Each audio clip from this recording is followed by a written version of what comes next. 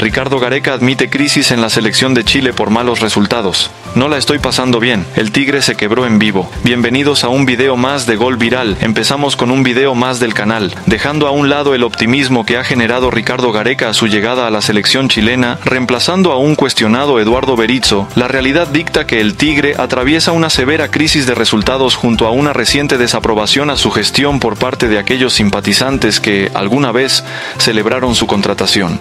El técnico de La Roja de momento no ha sido capaz de sumar unidades en las eliminatorias Norteamérica 2026.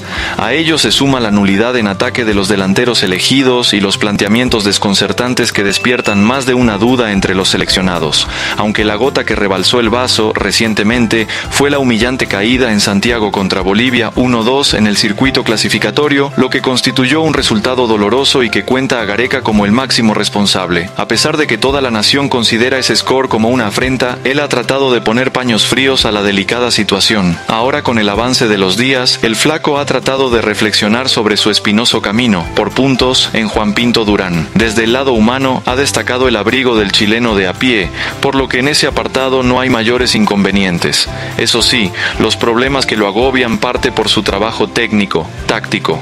En lo personal, sí la estoy pasando bien, porque me tratan bien. Chile es un gran país, muy formal, tengo todas comodidades para yo pasarla bien. Deportivamente por supuesto que no, porque no se han dado los resultados en el comienzo de las eliminatorias. En ese aspecto no la estoy pasando bien, admitió en diálogo con el programa La Mesa del Fútbol. La única manera para que Ricardo Gareca recupere la tranquilidad es que saque unidades claves en los próximos partidos eliminatorios contra Brasil en el Estadio Nacional de Santiago y Colombia en el Metropolitano de Barranquilla. En caso no se produzcan resultados favorables, probablemente su permanencia entre en debate. Se niega al recambio. Uno de los reclamos a Gareca tiene que ver con echar mano de los nuevos valores del campeonato nacional en lugar de los mismos futbolistas de siempre. No obstante, el Tigre ha asegurado que su propósito está lejos de promover la llegada de nuevas generaciones. Yo no estoy con ninguna idea de hacer un cambio generacional, simplemente voy convocando de acuerdo a lo que uno va viendo. No fui con ninguna intención en particular, la única intención es tratar de clasificar al Mundial, de ir encontrando el equipo y los resultados, acotó. Chile está atravesando un momento donde necesita encontrar una selección bien competitiva como lo fue durante algunos años atrás. Siempre Chile ha sido competitiva, lo que pasa es que las transiciones son importantes.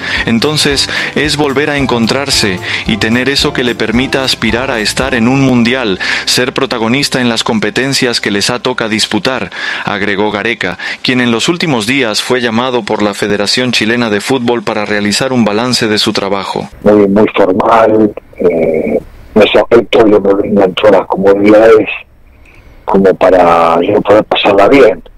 Eh, deportivamente, por supuesto que no, porque viste no, no siguen los resultados, por lo menos comienzos de la eliminatoria entonces, en ese aspecto, viste, lógicamente que no la estoy pasando bien.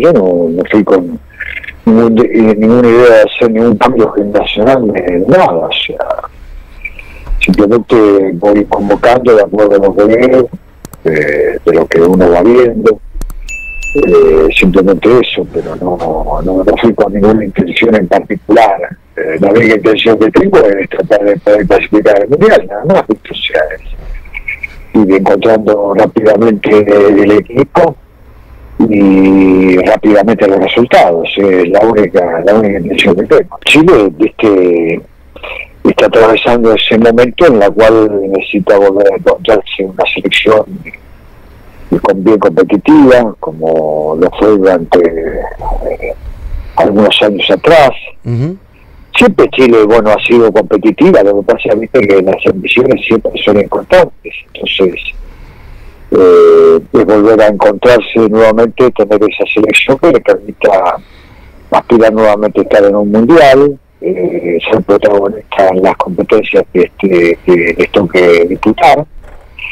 Entonces siempre es un proceso lógicamente que viene ya con dos mundiales dos mundiales que están afuera entonces, viste, y que lógicamente que lleva con el tiempo seguramente a, a replantear algunas cosas, no solamente futbolísticamente, sino también de ver quiénes son los jóvenes que se pueden llegar a ir asomando, pero eh, están en ese proceso, ¿no? Eh, en un proceso de, ver y de encontrar, eh, yo cuanto antes pueda encontrar una selección que, que dé resultados, ¿no? Recién eh, disputamos la otra eliminatoria, entonces ya transcurrió ocho partidos de eliminatoria, entonces bueno, estamos en ese proceso que cuanto antes pueda acertar eh, mejor eh, para todos y yo creo que lo más importante es un poco lo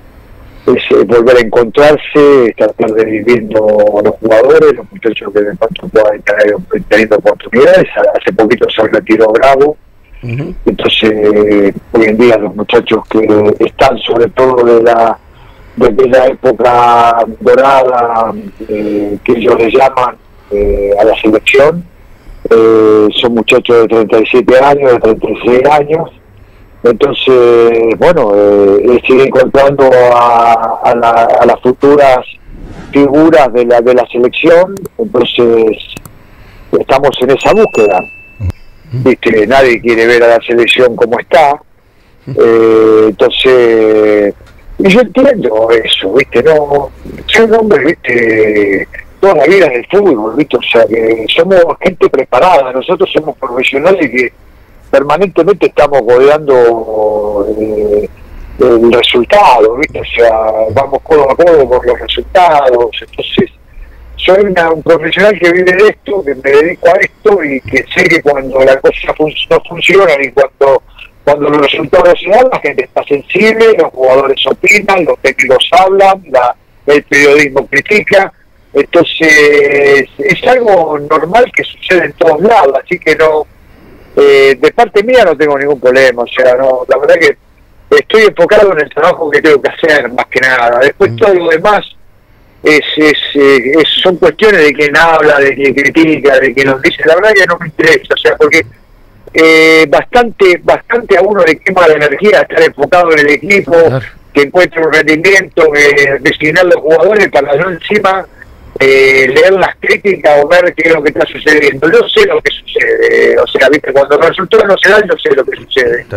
Y después con Scaloni, el proceso de la selección de Argentina es espectacular, viste, porque un poco contrariamente a muchas selecciones, de lo, inclusive lo que nos está pasando con Chile, eh, Argentina ya encontró su proceso, eh, ya va camino a a una etapa, no va camino, sino ya está totalmente consolidada como selección, como grupo, eh, como equipo de trabajo, con un cuerpo técnico totalmente consolidado. Eh, y bueno, o sea, son programas totalmente diferentes, o sea, eh, me parece que están tranquilos, están humildes, con los pies sobre la tierra, todos, el cuerpo técnico, los jugadores, me parece que mientras se mantenga de esa manera, yo creo Argentina, viste, está para seguir eh, dándole muchas alegrías al pueblo. Así finalizamos con un video más de Gol Viral. Gracias por acompañarnos, mis amigos. Esperamos encontrarnos con más información aquí en vuestro canal.